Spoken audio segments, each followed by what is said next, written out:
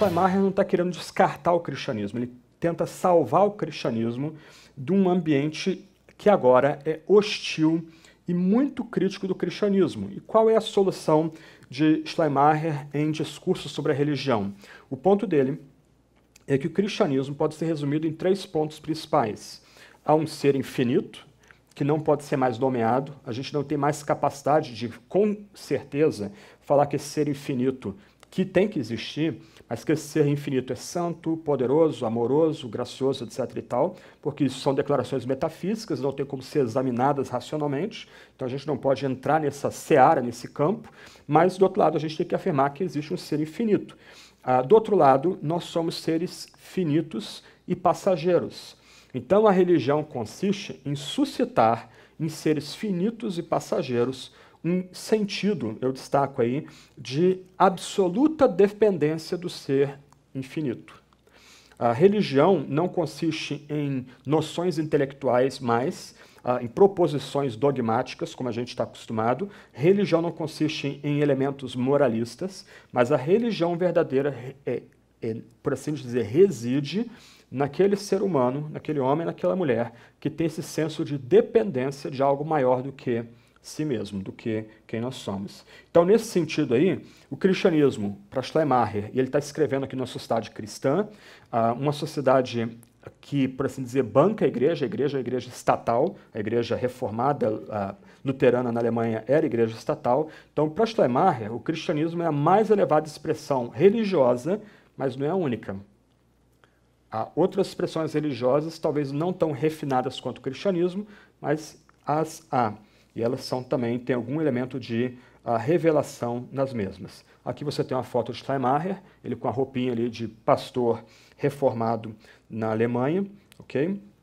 E aqui algumas questões mais práticas. Uh, você não deve imaginar esse homem como um pregador de uma igreja de 10 pessoas, 15 pessoas, de forma nenhuma. A Igreja Trindade, nos domingos à noite, conseguia reunir mil pessoas, 1.500 pessoas.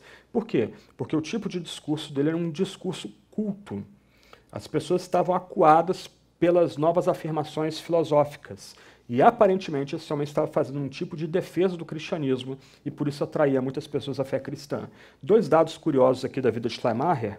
O primeiro é que a esposa dele não frequentava a igreja que ele era pastor porque ela manteve a fé básica no cristianismo, então, de comum acordo, ela levava os filhos em outra comunidade da Igreja Unida da Prússia para ouvir pregação da palavra de Deus uh, em outra comunidade. Mas, quando esse homem morreu, Berlim simplesmente parou. O cortejo fúnebre dele foi acompanhado por milhares de pessoas.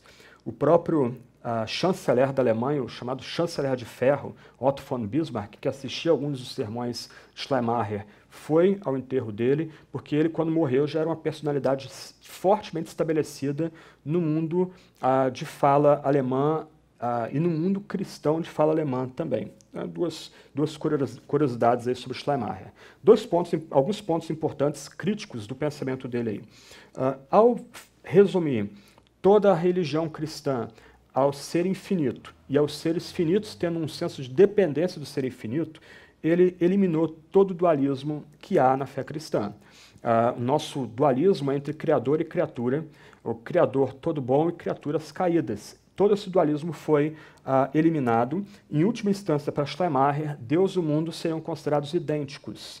Uh, na medida que o ser humano ele tem esse senso de dependência da divindade, ele é atraído irresistivelmente para ela, ele, por assim dizer, se ergue em direção a essa divindade e há aí uma, uma espécie de transmutação onde esse ser humano passa a ser ou ganhar um, uma. Não é, não é questão de se tornar divino, mas ele é, por assim dizer, erguido na medida que ele tem essa dependência da divindade. Mas a consequência do método e da teologia de Schleiermacher é que o dualismo é eliminado, Deus e o mundo vão ser considerados como uma, uma extensão uns dos outros.